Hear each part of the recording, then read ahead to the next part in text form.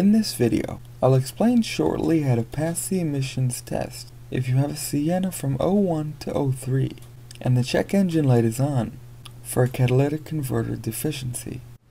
We actually replaced the catalytic converter with an aftermarket one, yet the light still came back on.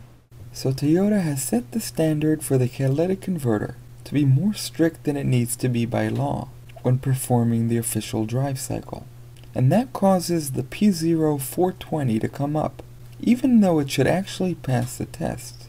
And many times the only remedy for that is replacing the computer in the car to an updated one. Or so we thought. And that's the official repair by Toyota. The reason why I made this video is I was trying many ways to get the car to pass the emissions test. And every time I drove the car, while performing the official drive cycle, which by the way is pretty dangerous to do. The official drive cycle to let the monitors retest the emissions of the car.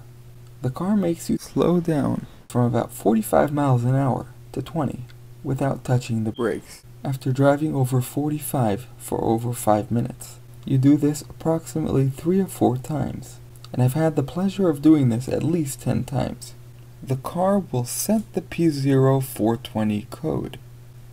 After doing a lot of research, I found on a forum someone by the name of Gray, thank you Gray, who was successful in passing the test by not driving the official drive cycle, but actually driving the car on the highway for about 150 miles at a regular speed after waiting for the car to warm up.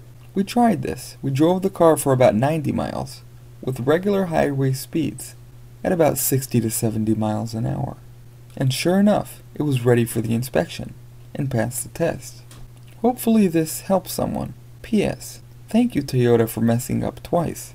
Thank you for watching. If this video helps you, please consider subscribing, as that helps me, and may help you again in the future. And hit the notification bell, so you get notified when I put up a new video.